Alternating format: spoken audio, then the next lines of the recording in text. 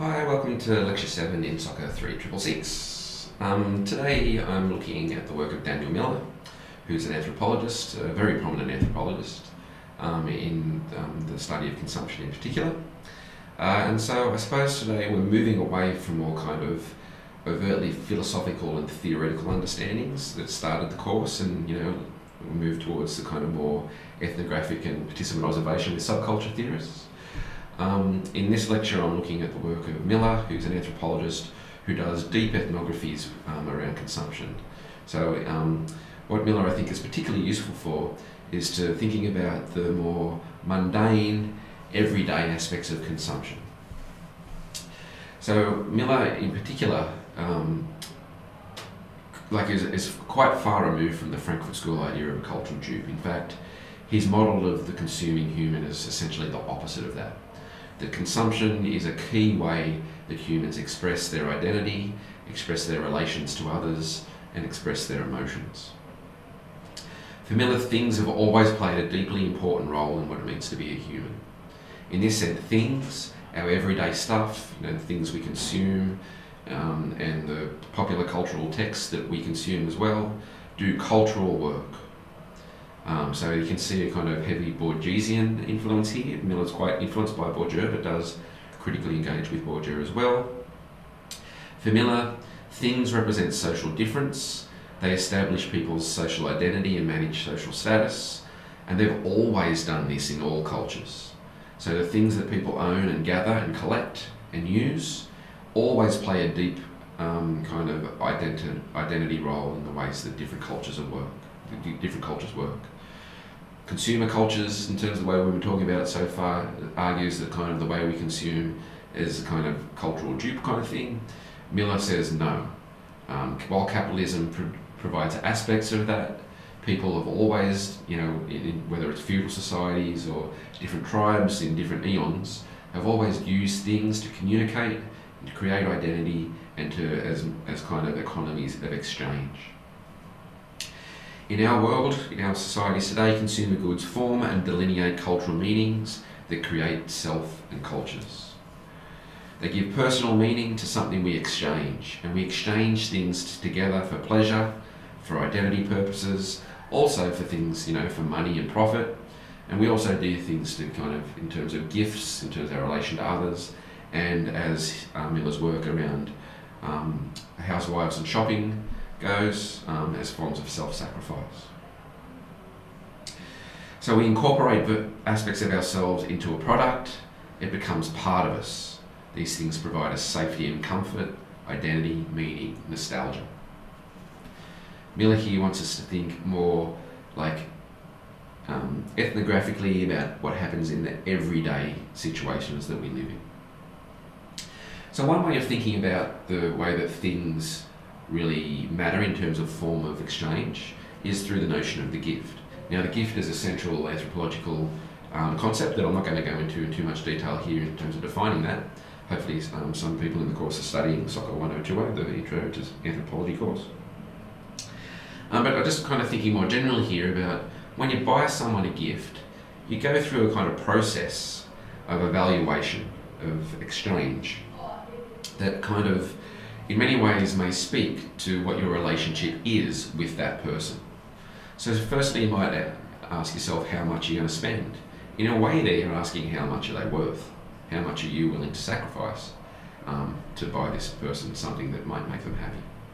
Then you've got to think about what they like.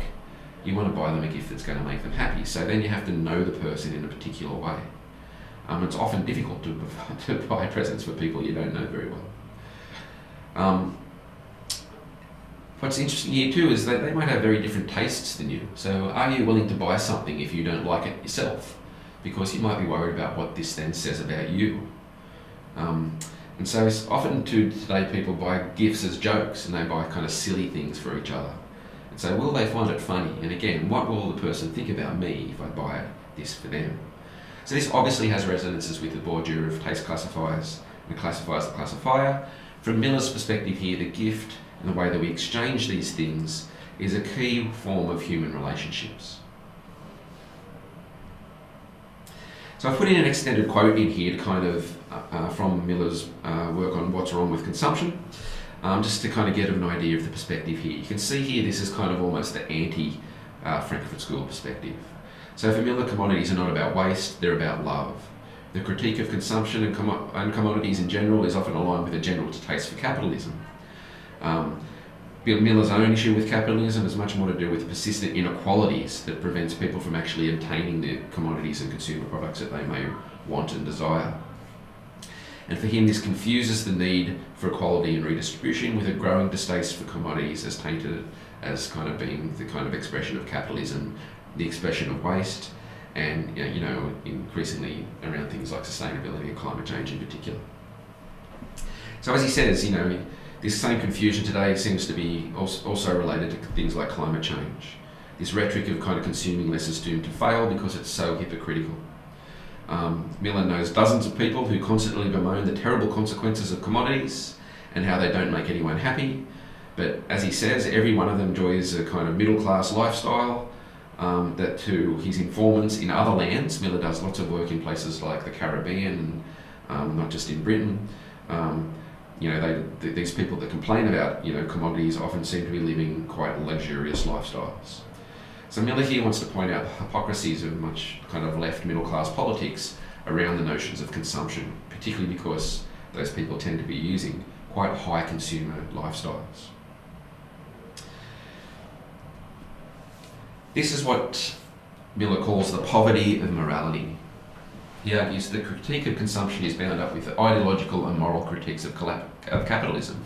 Now, these ideological and moral critiques are, are valid in many ways, but they kind of then shift that kind of critique towards consumption and start to ignore the kind of inequalities that affect many people, not just in the West. Miller is particularly talking about here between the kind of developed and develop, developing world, what we now kind of better refer to as the, the North and the South.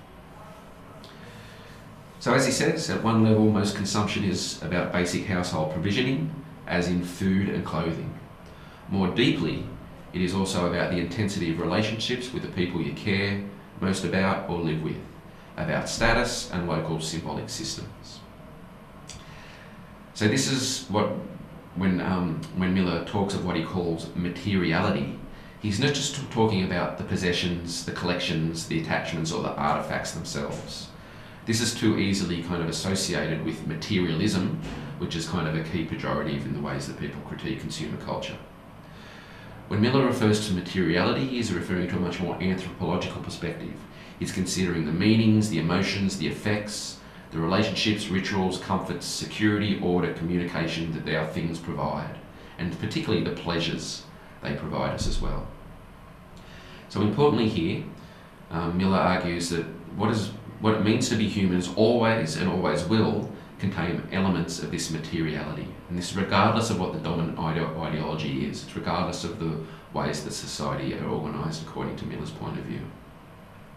This is not to say there be, won't be aspects of manipulation and you know cultural dupes, but things, you know, again in that Michel de Certeau kind of ways of making do, and in the subcultural ways of maybe providing resistance, and in Miller's ways of just providing meaning to everyday life, actually mean a lot more than those kind of ideological perspectives. And I'll talk of aspects about that in the second part of today's lecture.